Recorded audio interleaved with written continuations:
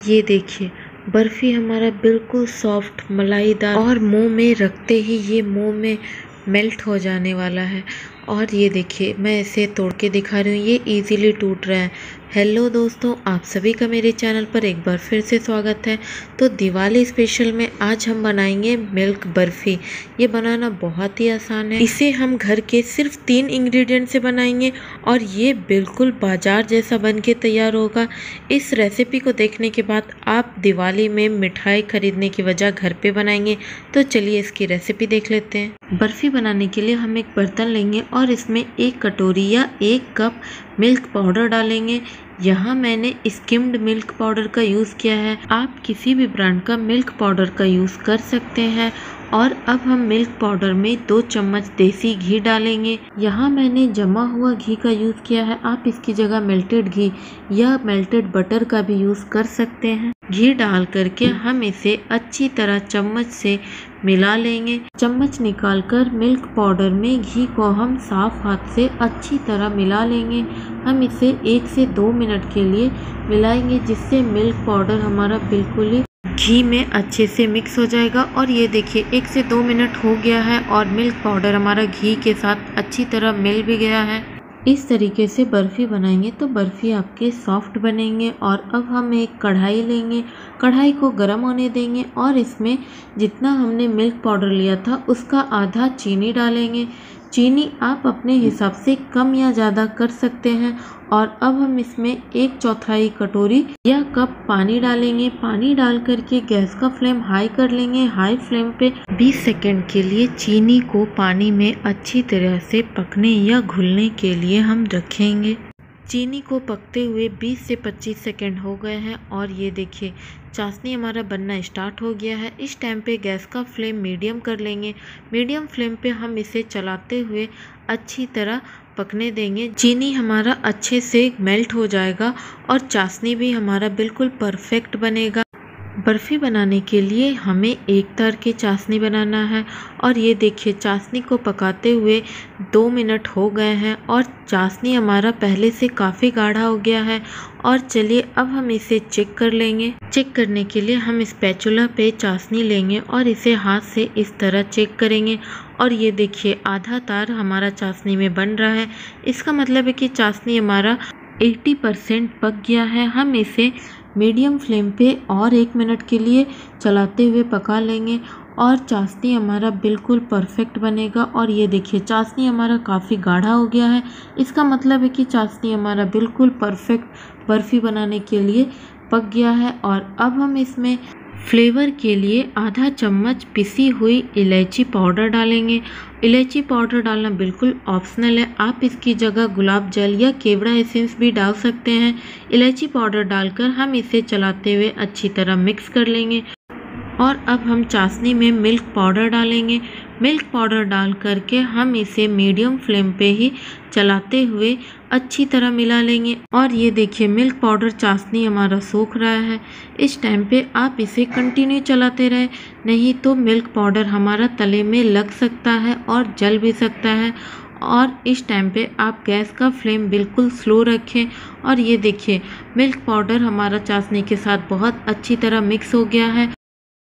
और यह बिल्कुल मावा की तरह दिख रहा है।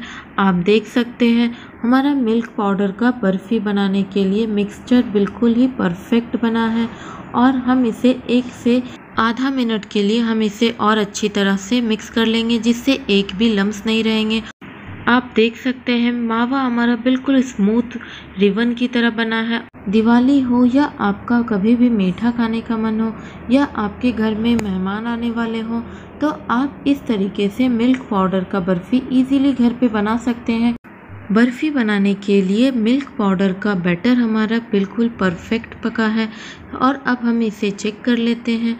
चेक करने के लिए हम इसे एक प्लेट में लेंगे और ठंडा होने देंगे। और ये देखिए प्लेट में डाला, बैटर ठंडा हो गया है। हम इसे थोड़ा सा फिंगर पे लेंगे और इसे हाथों पे हल्के से रोल करेंगे। देख सकते हैं, बिल्कुल इजीली ये रोल हो रहा है। इसका मतलब है कि बर्फ़ी बनाने के लिए मिल्क पाउडर का बैटर बिल्कुल परफेक्ट पका है। और चलिए इस टाइम पे गैस का फ्लेम ऑफ़ कर देंगे और हम इसे ठंडा करने के लिए इस तरह चलाते हुए एक मिनट के लिए मिला लेंगे। और मिल्क पाउडर के बैटर को हम ठंडा होने देंगे और चलिए बर्फ़ी सेट करने के लिए हम एक प्लेट लेंगे और इसमें एक चौथाई चम्मच देसी घी डालेंगे। घी डालकर हम इसे ब्रश से अच्छी तरह से मिलाते हुए ग्रीस कर लेंगे।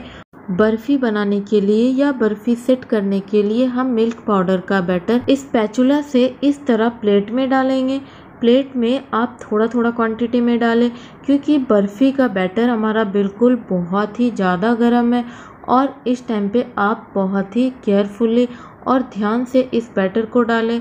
और ये देखिए, यहाँ मैंने बैटर डाल दिया है प्लेट में और अब हम इसे स्पैचुला से ही प्लेट पर अच्छी तरह फैला लेंगे।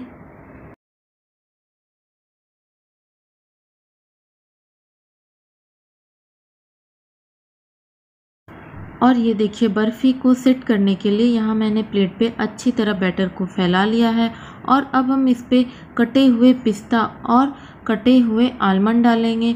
ये डालना बिल्कुल ही ऑप्शनल है। आपको अगर ये पसंद है तो आप इस पर डालें, नहीं तो आप इसे भी स्किप कर सकते हैं और आप इस पर अपने पसंद का कोई भी ड्राई फ्रूट ऐड कर सकते हैं। और अब हम इसे चम्मच से हल्के हाथों से दबा देंगे ताकि ड्राई फ्रूट हमारा निकले ना। और बर्फ़ी हमारा बिल्कुल मार्केट स्टाइल लगेगा। और अब हम इसे एक से डेढ़ घंटे के लिए सेट होने के लिए रूम टेम्परेचर पे रखेंगे। और ये देखिए, एक घंटा हो गया है और बर्फ़ी हमारा बहुत अच्छी तरह से सेट हो गया है। और चलिए, अब हम इसे प्लेट या थाली पे इस तरह पलट के निकालेंगे और इजीली हमारा बर्फ़ी निकल आएगा। और ये देखिए, बर्फ़ी हमारा इजीली निकल गया है और अब हम इसे सीधा करके, चलिए अब हम इसे बर्फ़ी का शेप में कट कर लेंगे। आप इसे अपने पसंद का किसी भी शेप में कट कर सकते हैं।